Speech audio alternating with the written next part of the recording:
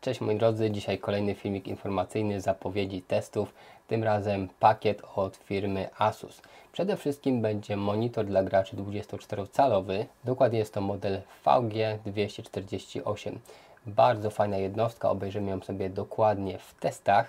Poza tym będzie też bardzo fajna myszka optyczna z serii Republic of Gamers. Taka właśnie niewielka myszka, gryzoń nazywa się Sika. No i do kompletu moim zdaniem przydałyby się jeszcze jakieś słuchaweczki, coś naprawdę fajnego i też taką propozycję mam dla Was.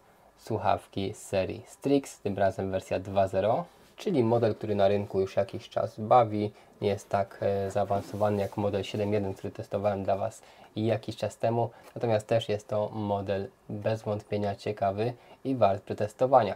Tak więc dziękuję Wam dzisiaj za obejrzenie tego zwiastu na kolejnych testów. Ceny tych sprzętów sprawdźcie sobie w opisie filmu. Zapraszam też na mojego Facebooka i codziennie zaglądajcie na kanał, ponieważ codziennie jest coś nowego. Pozdrawiam Was, cześć!